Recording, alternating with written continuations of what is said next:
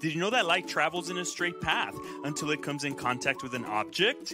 Last lesson, we learned how electric energy flows in a circuit. In this video, we will be learning how light rays travel and how they behave. When light rays come in contact with an object, they either get absorbed, bounce back, or pass from one medium to another. Light rays can either be absorbed, reflected, or refracted. When light rays bounce off of an object, we call this reflection. Objects with a smooth and shiny surface like metal, a mirror, and glass reflect light.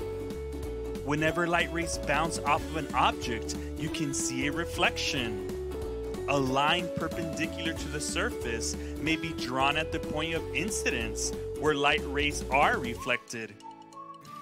Sometimes light rays are transmitted from one medium to another and pass through objects that are clear transparent, such as glass, lenses, and water.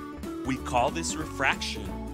When light rays are refracted, they're transmitted from one medium to another and they change direction because the speed of light changes.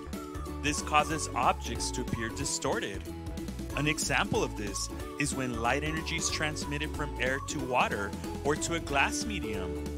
When light rays travel through air, they follow a straight path, but when they pass through water or enter a medium, their direction changes at the point of refraction because the speed of light slows down.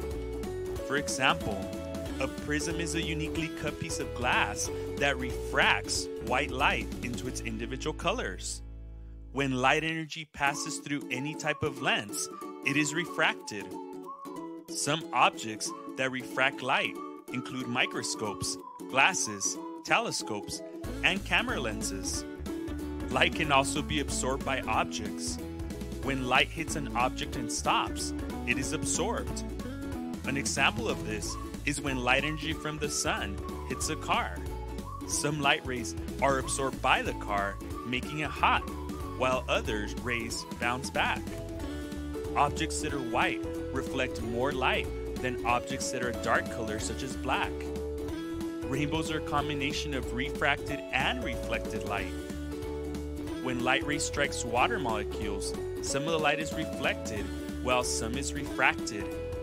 We can see this in a lake. Some light rays are refracted as they pass from the air to the water, while other rays are reflected. This is why you can see a reflection in a lake, but you can also see how objects appear distorted inside the water. Let's review what we just learned. Light rays always travel in a straight path. Light rays can bounce back and be reflected in an object such as a mirror.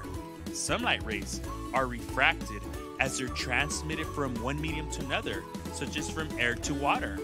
Light rays can also be absorbed by objects.